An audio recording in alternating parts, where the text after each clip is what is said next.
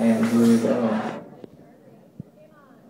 This first one's about going scuba diving. Some of you can relate. Most of you probably can't. I've never been scuba diving. I'm a huge faker.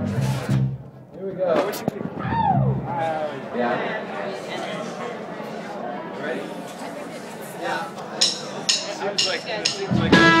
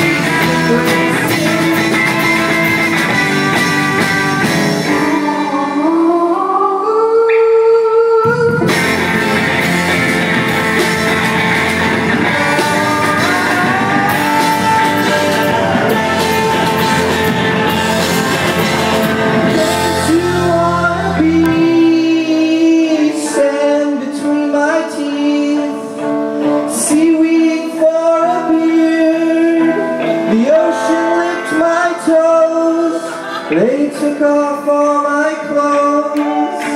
Her head eclipsed the sun. Pursed her lips, lowered her mouth And slowly sucked the venom